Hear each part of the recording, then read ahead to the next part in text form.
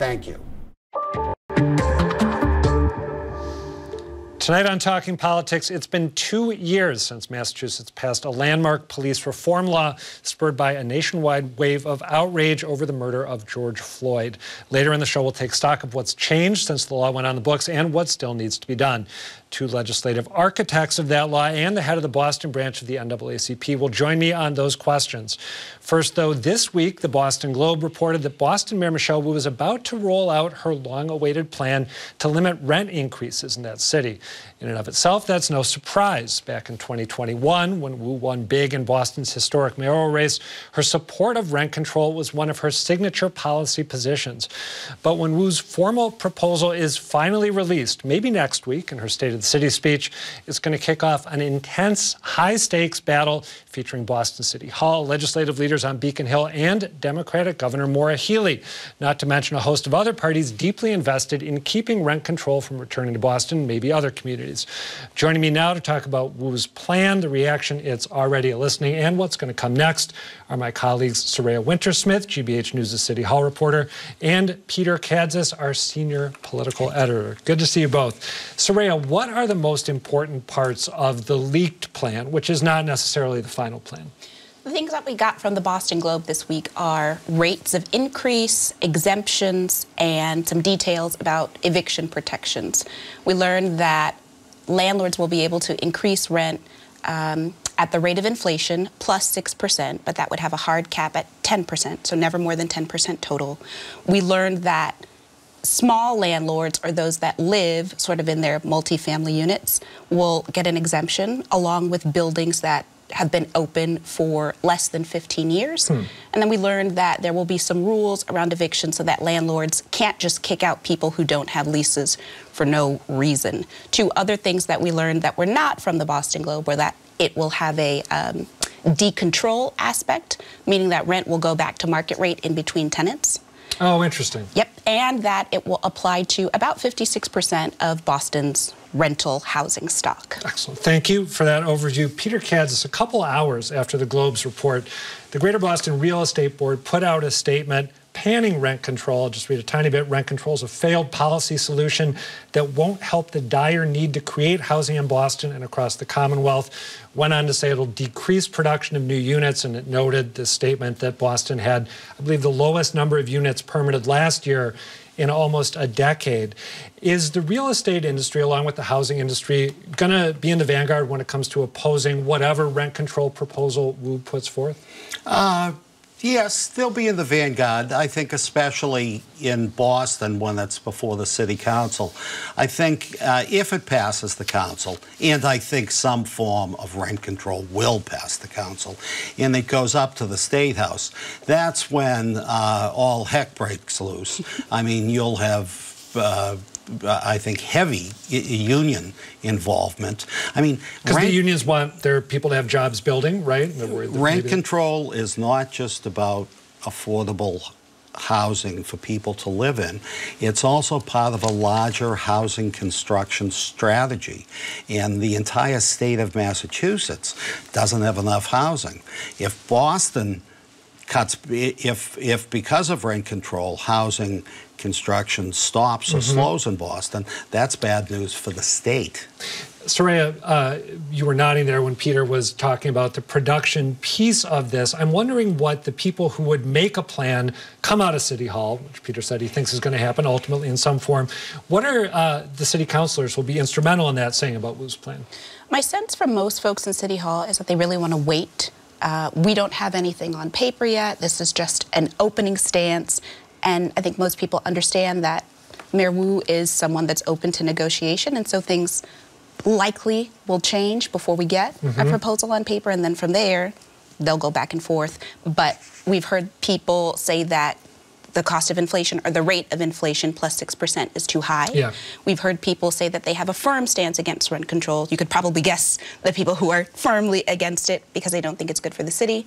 And then you've got folks in the middle saying if you can guarantee certain exemptions or certain other aspects of rental regulation, they might be brought on. But everybody understands it's it's a negotiation. So that's the characterization of where City Hall insiders and, and uh, other interested parties stand on this. You just did a story with Peter as your editor talking about the, you pull back the curtain on the public feedback that the city has been getting, the Wu administration has been getting as they explore this possibility.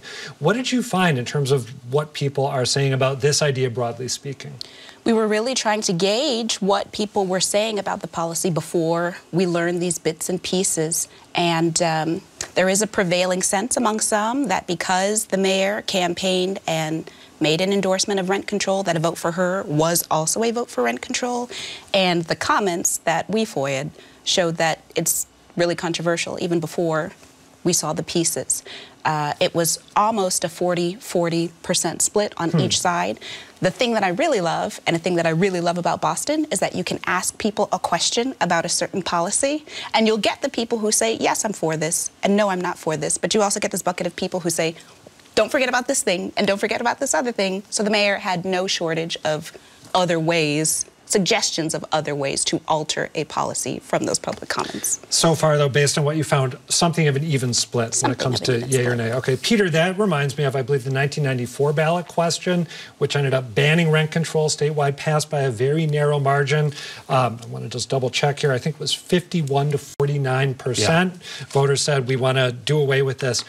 How important is the fate of Boston's plan, whatever it is, when it gets to the State House, when it comes to other municipalities, Massachusetts, maybe thinking about doing something similar here? Oh, hugely important. I mean, Saraya was taught, has been trying to get different mayors from around the state to comment on it. I've made some attempts to see how people on the Worcester City Council feel about it. No one wants to say nothing until this Boston plan gets going. Um, if rent control, it's a long shot. Rent control at the moment is a long shot. Um, but it's the first time in years it's even had a shot. Um, if people could compromise their way to a Boston plan, I think you would see it spread around the state. All right. Peter Kadzis, Saraya Wintersmith, thank you both, and we should do this again, talking about this issue. Thanks. Next up, on the last day of 2020, Governor Charlie Baker signed a sweeping set of police reform measures into law. The reforms were the result of months of negotiations in the state legislature, prompted by a summer of mass protests that followed the murder of George Floyd by a Minneapolis police officer. The law created a Peace Officer Standards and Training, or POST Commission, a civilian led oversight board that certifies and can decertify officers across the state. It also banned racial profiling, chokeholds, tear gas on large demonstrations, and most no knock warrants. In the two years since it was passed, how has the law changed policing in Massachusetts? I'm joined now by two lawmakers who were key in the bill's passage State Representative Russell Holmes and former State Senator Sonia Chang Diaz, and by Tanisha Sullivan, the president of the Boston branch of the NAACP. Thank you all for being here. Thank you. Thanks, Adam. Uh, Russell Holmes, let me start with you. This is, as I alluded to, a great big law with a whole bunch of constituent parts. As one of the law's prime movers, the prime movers behind it, give me two or three, to your mind, of the really important things that the law does or is intended to do. So, Adam, I think from my perspective, it's not just about the law, it's about the cultural change that had to happen between police and community. And so the law, the way I see it, reset the playing field. I think there was just way too much of the advantage to police. And so as I look at it, it has reset it. It has made it so that the community now feels like they can be engaged. But it's also unfortunately put, I think, some police on their heels. I literally believe sometimes police are using the excuse of post and all the things they cannot do now to say, hey, we're going to only respond to community when they call us, not just being proactive and being positive. Oh, that's interesting. That's is that something that you've picked up on just through communications with constituents? Have you experienced it yourself directly? No, I sit in many, many neighborhood meetings, and literally I hear uh, the, the chatter going back and forth. My community is still saying, we want to see you. We still want to make sure we're well protected. We're still the ones who are seeing much of this violence. And then I hear folks say, well, we're not there because of the fact that we feel like there's a movement, basically, Black Lives Matter, we're not appreciated, we're not wanted. So I'm literally hearing that discussion between police and community often. Okay, so cultural reset that remains very much a work in progress, and hopefully we can double back to... Second thing would be yeah. the actual culture that reset that says, hey, we've now taken licenses. You wouldn't believe how many phone calls I got from people saying, "Hey, I know you're going to take the fact that I'm, i have no longer have arrest powers." I'm like, "Wait a minute, I didn't even know you had arrest powers." So folks like even the the, the folks who are riding, riding the horses in the park, I didn't know park ranger I had didn't know that that power, and so um, that just reset also to just say the folks who should have these licenses and have arrest powers, that is going to also change the culture that's going to happen between police and community. Sonia Chang Diaz, I'd love to get your one or two or maybe three really important pieces of the law. Oh, it's hard to pick. It was a big law, as you said. I think, you know, I, I, think of this law in, in sort of buckets, right? And I think the big things that, that the law did with lots of parts in, in those buckets was one, shift power, as Russell alluded to. Um, the, this is the first time among the 50 states that any state has ever had a police oversight body that both has real community representation on it and has real power, subpoena power, power to certify and decertify, power to set actual, you know, binding regulations. So shifting power is a huge uh, marker of this bill. Um, also, sort of shifting the way that we conceptualize the work of policing um, and public safety um, from just sort of force and punishment to um, prevention and uplift, right? The bill shifts resources. For example, it took away the requirement, what used to be a legal requirement, that schools in Massachusetts must have police officers and made that a local decision about whether, you know, yeah. what was best for schools. And then, you know, setting up um, proactive responsibilities and duties in law enforcement to um, prevent, to de-escalate, um, to intervene, right, if an officer sees a, a fellow officer abusing power. Um, all those sort of proactive responsibilities, I think, was a big shift as well. And that, incidentally, to me, when I was reviewing what's in the law, that is such a, the duty to intervene is such yeah. a huge conceptual mm-hmm. shift, mm -hmm. especially, you know, with the murder of George Floyd fresh in everyone's mind. Tanisha Sullivan, I'd love to get your take as someone who's very active on these issues, but is not not legislating inside the building. Do you feel like the reforms that Sonia and Russell have mentioned and the other ones that they haven't, are they uh, fully implemented yet? Are they a reality yet, or do they remain aspirational to a large extent? I, I, think what's really important for us to make sure we acknowledge is the important role that community and protest play yeah. and played in us being able to even advance what is now historic legislation in Massachusetts. The fact is, I, I don't believe we would be here but for, quite frankly, the tragic murder of George Floyd and the protests in the streets yeah. that really really drove the energy around getting this done. Um, and so, you know, so I celebrate certainly and acknowledge those advocates and activists on the ground. But whenever we have public policy, I think it's important to look at the phases as well. There's oftentimes a problem that leads to protest that then leads to policy, but ultimately we do want to get to practice and implementation. Mm -hmm. And on that front, that's the phase we're currently in, we do have more work to do. But I think it's also important for us to give the um, those who have now been charged with implementing this work the time and the resource support to get it right. Um, you know, we need to make sure that as we are, as, as the work of POST um, is being implemented and we're going through that certification and decertification process, that it is done um, with great intentionality and that we are ensuring that it is inclusive of certainly uh, everyday people voice, so that's the civilians, mm -hmm. right? Um, as well as law enforcement. I think it's important for us to do that in partnership, and um, and I do believe here in Massachusetts we've demonstrated that that's possible.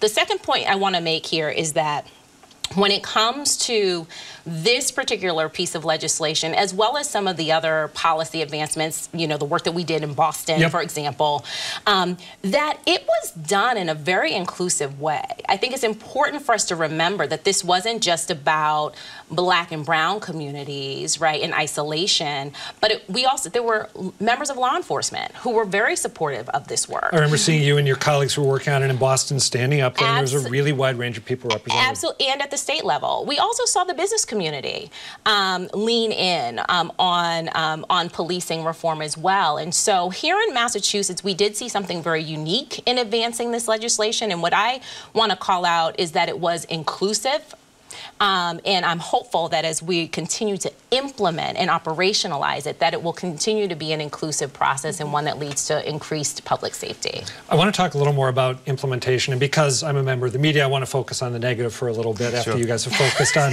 on the positive. Um, the Post Commission, tell me if I've got this right, is supposed to make public disciplinary records Yes. for police departments across the Yes. state. But my coworker here at GBH News, Sarah Betancourt, she's reported on this, as have others, and she's pointed out in the story I was reading yesterday that if you go to the Post Commission website, those disciplinary records are not there. Correct. Why not? I have my answer. Um, Well, let's start with you. so I it's real simple. I'm a financial planner.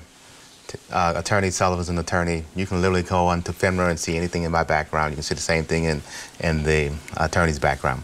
And so what we heard often when we're having these discussions, when Sonia was talking about everyone being involved, is that the police says we're the most professional or the most trained police officers there are in the country. Why you need to uh, talk to us? Well, you're not the most professional because all of us, the rest of us professionals, can go through that background check. And so this piece, which is something that this that the speaker and the leadership team fought me hard on. Literally, I said, no, I'm not ready to pass the bill until you get this language back in the bill. You must have it so that we can go and do this background check. I've talked to commissioners on the post commission. They are close, is what they keep telling me. We're close to getting this done, but um, it is the, is the part that they feel like their privacy rights are going to be violated. The police Yes, feel like yes. it. And so I understand that, that part, but again, this is that shifting of power. They need to also be, if you have the right to put your, my arms behind my back, you should also have the right to have it so that you've done something in the past. I need to know about And it. my recollection is that the commission said they were getting close on this last summer, Sure right? did. So they've been getting close for a little while. Yes. Yes. Yeah, but they're building a whole new system. I mean, let's let's let's be fair in this process too, right? Like a whole new system is being built, and that requires resourcing. And so, while again we want to make sure that we get to the implementation phase, I also believe we've got to make sure if there if we're not moving as quickly as we'd like to, then the question becomes: Have we resourced it well enough? Are there enough people there to mm-hmm. actually get the thousands upon thousands of records into this system Yep. so that they are searchable. So that that's a piece of this as well. Mm-hmm. Uh, They're standing up a whole new agency, you mm-hmm. know. So, I, you know, I think that the, the the magic is finding the balance point here, right? I remember Russell being so, you know, dogged and uh, clear in his standard. You know, when I when I get pulled over by a police officer while he's looking up my driver's license, I want to be able to look up, Exactly you know, my Yeah. rule. uh, and it, it's not a matter of choice for the post, right? This is a matter of statute. It's in the law, in black and white, that uh, it is a requirement that the post make available when there's a substantiated uh, finding, right, of uh, misconduct, abuse of power, a, a training, a retraining requirement, certainly a decertification. That those records have to be available to the public. So, you know, the the balance point will be, you know. Do we see evidence that the Post is acting in good faith in getting there? Let me ask about another uh, matter involving post disclosure. Well, I shouldn't say disclosure, more post standards. Again, my colleague Sarah Betancourt reported that when the Post Commission released the names of thousands of officers earlier this, uh, actually, I should say last year, who had been uh, certified by the Commission. There were 10 officers from the Boston Police Department who were certified even though they had had complaints against them upheld, including the use of force uh, and conduct unbecoming. So, my broad question for the three of you, hooked to that observation from Sarah, is Are the criteria for certification as rigorous as they need to be or not? So I, I'm sorry to keep Hop on in. but take, taking it first. But when I when, when we was talking about who's going to be in the commission, right? I remember saying to, to Larry, not Larry Ellison, the other Larry, uh, hey Larry, Cal- okay. Oh, thank you. I was- I'm saying Larry, we can't if you want us to have confidence. the president of the Boston Police Police Patrol Yes, right? you have told me you don't want bad officers. You've told me that. So if that is the case, and you have to, I have to be able to trust that you're going to vote against even the officers when they come in and they have a problem. And so they, they went to the 10, they've gone through the 10,000, the first set, and now they're finally getting through these hearings where I think they're going to continue to decertify like the 15 they did last week. I guess, Yep. again, they have to continue to just go through the process, and I think that's why they landed there initially. Mm-hmm. I remember saying to Charlie, hey, who I wanted to go through the process first were all the people who had disciplinary problems in the past, and then we didn't land there. We Sonia was in that meeting where we were saying, hey, fine, we're going to do this A through H or whatever it is initially because it goes across the mm-hmm. entire state. I agree with, with Attorney Sullivan. Let's go through the process. Let's get them decertified and let the chips fall where they may in the I'm, next three I'm years. glad you mentioned the 15 decertifications that were announced last week, and I, I believe that number is now up to 18. Correct. Although I don't think that the three who've been added to the 15 original ones, we don't know their names or, or place of Not employment yet. I, I think each of you may have wanted to hop in on the standards question. I, so I want to pick up what um, Tanisha was saying earlier, and this is so important, cannot be overstated. Um, the the impact that uh, the community protests had. It was not a coincidence, right, that we passed this Yeah. bill in 2020. It was a direct result of the of the outcry, and the work has to remain. And it's that's not easy, right? Most of these organizations, God bless them, are all volunteer. Tanisha's not getting paid for her Right. work at the NAACP. That's right. Um, and, and you know, when I said that the Post is the first in the nation uh, of the 50 states to be, you know, have both real power and community voice, that's true. But it's not all community voice, right? It's Right. not all to Tanisha, Tanisha Sullivan's on that Post governing board. It's also a lot of representation from the law enforcement community. We fought hard, negotiated very hard to make sure that it was majority civilian. Um, and that's a key. Um, but we need to continue to have that community voice at the table, participating, looking at those draft regulations, giving public comment, pushing to make sure that they're rigorous, um, so that the post continues to hold public trust as a as a civilian regulator. You've brought up the issue of political will, and I want to ask a little more about that. But before we do, when I floated the question whether the standards for certification are as rigorous as they should be, I think you, without speaking, gave a look that indicated that you had some thoughts on it. Well, what, what I will say is this look, we are at a starting point. Um, again, this is something that has never been done before in the country. And so, what I want to call out is that it is not. The, the the process is not um, set, right? It is Right. not in, a, a process that is set in stone. And so, what I want to make sure that folks understand is that my hope is that we do continue to assess so that the process can evolve, so that we can get it right. And so, if we find that, you know, through this process, it's not yielding the outcomes we desire, which is ultimately ensuring that we do have the best um, members of law enforcement continuing to work every day in our communities, then yeah, we need to reevaluate and see if there are some things that need to change. Um, but but at the end of the day, it's critically important. This goes to Sonia's point that we remember. This is going to be a continuous process. We need to constantly be reevaluating and assessing and making necessary adjustments. And we Can I will. jump in and ask- I mean, I'm Yeah, a legislator, so obviously I'm going to continue to try to tweak this thing, but we will be continuing to make those edits. It it is important. Didn't mean to cut you off. No, that's okay. I just want to note that the fact that we're even able to have this discussion, right? The fact that Sarah Betancourt can pull those records and say, you know, how Right. come these disciplinary actions happen, mm-hmm. but there was no decertification here? That in and of itself Long is way. a result Yeah. of this law, right? That we can have That's that right. transparency and that conversation that more people are participating. And don't forget saying, about the right? structural racism pieces on parole, probation, what's happening in our DOCs. There's just so schools. There's just so many things happening other than just hey decertifying officers. Mm-hmm. Because I can tell you, the first 10,000 officers we trained, they had to go back and tell all of those other folks, hey, this thing is real. And so that's going to change the culture as well. That we are literally changing this relationship, and it's important that we continue to to build on that. 10,000, 8,000, 6,000, be done in three years, and that's the right way to, to go about it. Given that this is a protracted and very complicated process, I'm wondering if the three of you think the political will is going to be there long term. You said you're going to keep working on this, but I wonder if, for example, you think that your colleagues in the legislature are going to be willing to exercise No. the amount of oversight. No, but here's, here's what I'm going to tell you. What is Candid. so great, here, here's what I'm going to tell you. What is so great is we did the exact same thing with this, uh, with posts that we did with the with uh, casinos or um, and what we did with cannabis, right?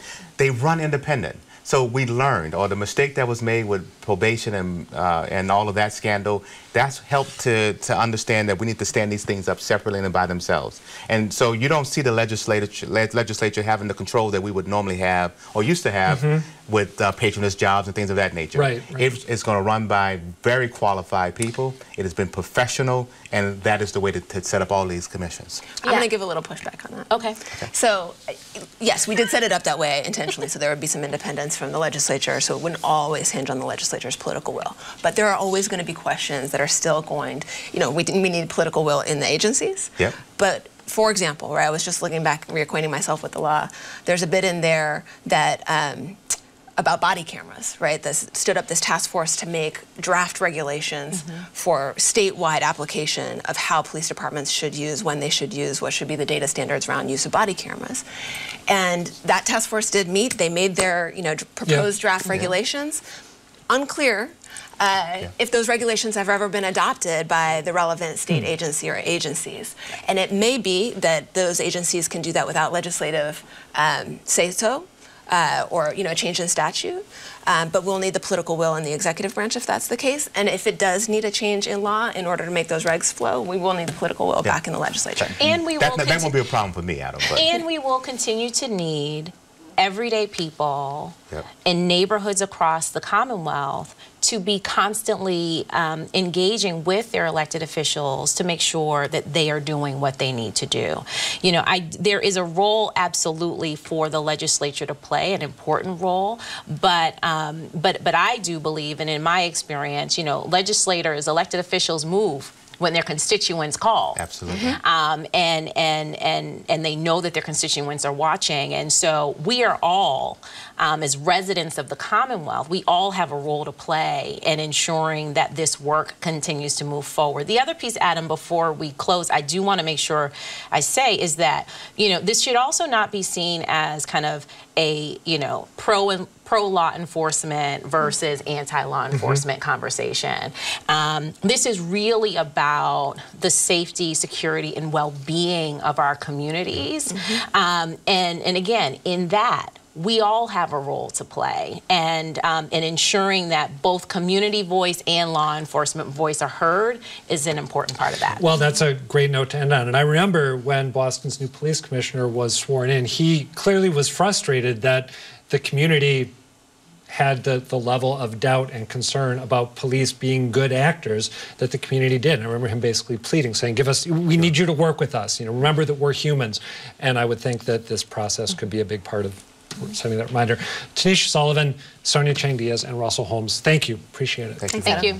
That's it for tonight, but do come back next week. And in the meantime, please tell us what you think. The email email's talkingpolitics at wgbh.org. The website is gbhnews.org slash talkingpolitics, or find me on Twitter at Reilly Adam. For now, thanks for watching and good night.